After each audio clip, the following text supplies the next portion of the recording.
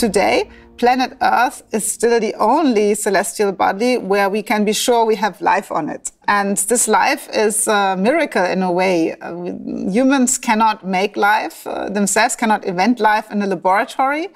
Um, so when we try to understand life and its diversity, and we understand that the Earth is 4.5 billion years old, we just have to understand that this huge diversity that we see today in plants and animals and microbes is a characteristic of our planet. And it is a meaningful characteristic. It uh, provides us with a huge set of functions, oxygen that we breathe, uh, what we eat, the various bioproducts, but just uh, a sense for, for life in itself and how life can adapt to a changing environment is, uh, is beautiful to think about that. Well, first, um, I'm thriving for a deeper understanding. So already as a kid, I was so curious about how the earth and the oceans function or how people function and why things the, are the way they are. So to me, um, curiosity is actually the, the, the greatest force in, in my being and in my work that I do.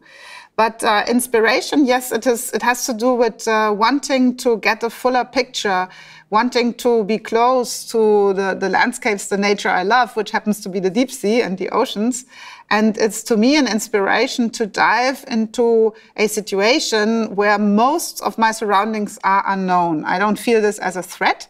I feel this as a great uh, luck and a great situation when you know I'm taking a step into something that is not predictable for me, that, there, that is unknown. And then step by step, being part of it, becoming part of it, um, I love that in my work, but also in my private life. So we know that uh, there are fewer humans that have been diving to the deep sea than humans that flew to space. And that's amazing to think, wow, I'm one of them. I'm one of those people who under, try to understand and explore the deep sea. So those moments of diving are fantastic, but of course also working with robots because with every dive, with every look you take to the deep sea, you are seeing something, you're observing something that no one has seen before. And discovery just feels great. So a dive uh, in a submersible starts with you entering the submersible and then you're put uh, overboard. And so this first moment when you go in, you're well prepared, you know exactly what the dive uh, has to do, what samples you have to get, you have a book and a computer to enter whatever you see. But then first it feels very uncomfortable. It is uh, quite warm inside, it is uh, a bit sticky and the waves move you around. And then you're very happy when you sink, when you start sinking first to 50 meters. That's when all the technical checks happen. Is everything uh, watertight and uh, is everything good with the gases? And uh, then it's very calm. And still you see the blue water and there are already the first fish coming by. You look outside of the window and then you see there is life around you. And then comes my favorite moment when you sink down to the depths you're basically sinking out of the sunlit zone. And so you're, you're sinking through all blue colors, all color uh, um, of, of blue to black that you can imagine. And once it becomes perfectly black, so when the photons um, are no longer there in this zone, then you encounter all of the fantastic deep sea life that has their own light, bioluminescence. And that's my favorite, my super favorite part of a dive, because when you then turn the lights off, you can see that, that uh, shimmering life around you and um, you sink further. And when you are at two, three kilometers depth, then it, the water is entirely clear. There are almost no particles. And you can encounter some of these large squids or some very weird deep sea fish. And then you, you come close to the seafloor, and uh, at the seafloor there is again a lot of life. So when you then turn on the light and you see the seafloor, you see all the traces of life, and you, you feel, okay, now you're here, the sampling starts or the observations start, and then you count the time that you have. It's always too short. Such dives are usually no longer than six to eight hours. You have some two, three hours at the seafloor before you start rising again. And this time goes by far too fast because you want first you want to look only and take all the time to look outside of the window, but you have to, to solve tasks, you have to describe and sample and give check checkups back to the ship and those kinds of things. So it's always going far too fast. Very early on, when I was a student, I was uh, invited to participate in a deep sea mission that really changed my life and my career because uh, once I was out there at sea and once I was able to see the seafloor with my own eyes, kilometers deep into the ocean, and discover the strangeness uh, of life and different deep sea landscapes, then I was uh, absolutely convinced this is my profession, this will be my profession to just uh, understand this part of Earth that us humans normally do not connect with. But early on, um, when I uh, worked uh, in research, I found out that our work as marine researchers is much more than just describing and exploring. In fact, we see traces everywhere already then. It's now 30 years ago that I started out as a student. We see traces of us humans everywhere, be it the littering, be it the effects of climate change, be it the first experiments that we do to harvest metals from the deep sea be it uh, remnants of fisheries uh, and tracks and traces of disturbances on the seafloor. There are so many changes that we humans brought to the oceans that I knew also my profession will not only be exploring and admiring nature and finding out unknown life and unknown processes, it will also be being an eyewitness to the changes we humans uh, do and also questions of solutions and questions of risks that I have to speak about uh, when it's about the relationship we have to our oceans and polar seas. So I started out with the whole question of carbon cycles and fluxes on Earth when I was looking into the role of the oceans, how much the oceans take up from the carbon that is produced, some of it naturally by the algae floating atop, but some of it just by our human energy consumption. And uh, when I worked at the Scripps Institution of Oceanography in uh, California, in La Jolla, I got uh, familiar with their long-term time series of CO2 in the atmosphere, where a scientist, uh, Keeling, uh, measures since the 60s um, CO2 emissions um, off of Hawaii. And so we, we are taught about this ever increasing CO2 concentration in the atmosphere and the threat that this means for global warming because it's a climate gas. And to know that for all this time, my entire lifetime, so when I was born, scientists started warning governments about this fact.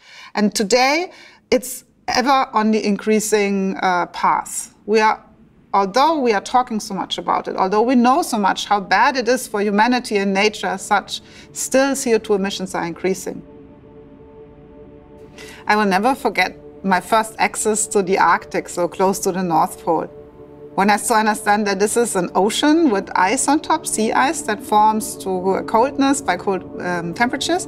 And so when I went there with the research vessel, I was so amazed that it is possible to go with a ship, an icebreaker through the ice, break it and move forward. And that you can also step uh, onto the ice and walk on it and just walk on the deep sea. I was just thinking deep sea all the time. And then I, I got to know sea ice as a habitat.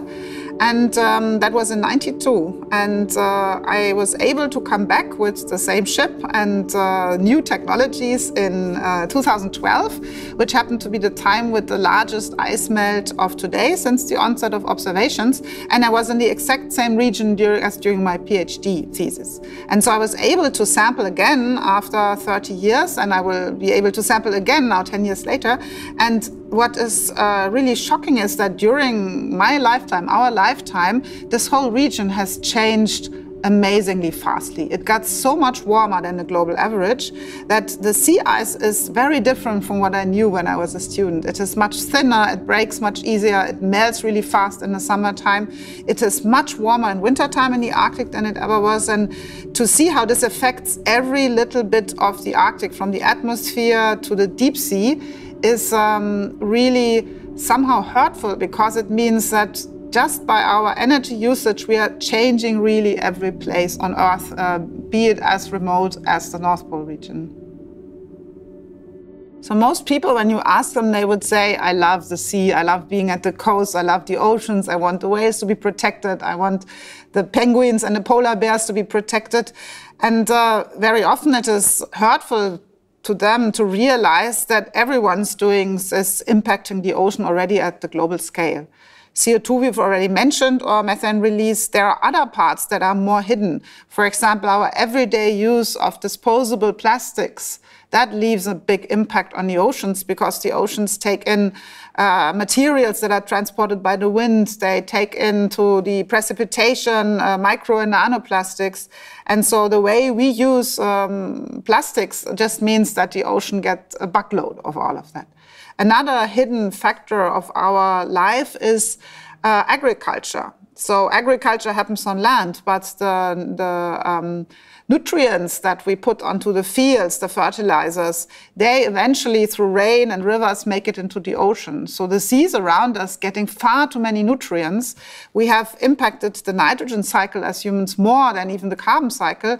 And that changes the seas, the health of the seas and coasts that can cause toxic algae and that can cause degradation of environments. So the list of how we all in our everyday life impact the oceans is unfortunately quite long.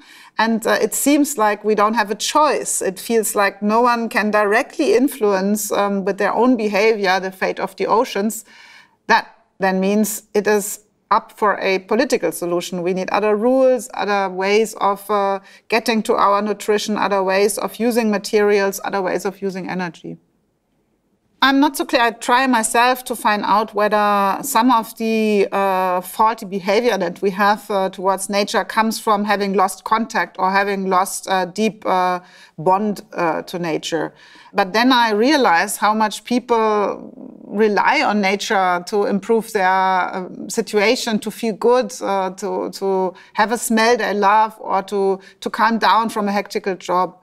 Um, and most people, if you ask them, they will perfectly well describe how much they love nature, how much they love oceans, but it's just not enough. So the predictions that we have for 2100 is that uh, this is the time when we have lost 99% of our coral reefs due to bleaching, due to a too warm ocean. It's the time when we have a summerly ice-free uh, Arctic and wh where we may have lost uh, a large amount of glacial mass also from West Antarctica a time when the uh, climate change threats or the destruction of species and habitats may have become so large that our health and also other uh, uh, factors have uh, decreased again. So the hope for me is that what we are already experiencing now, the combination of knowledge, technical and social solutions, and the feeling of the crisis that is already here mobilizes our energies um, and brings us together as humanity and uh, lets us act uh, for a better future. That's, that's the hope that I have.